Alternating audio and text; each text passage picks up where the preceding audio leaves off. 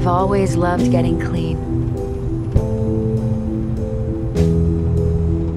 But now, when I say clean, I'm not talking about baths and showers anymore.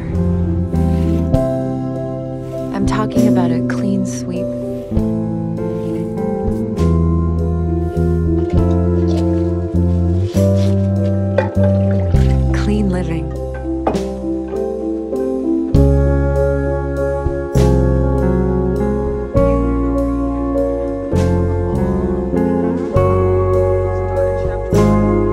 Conscience.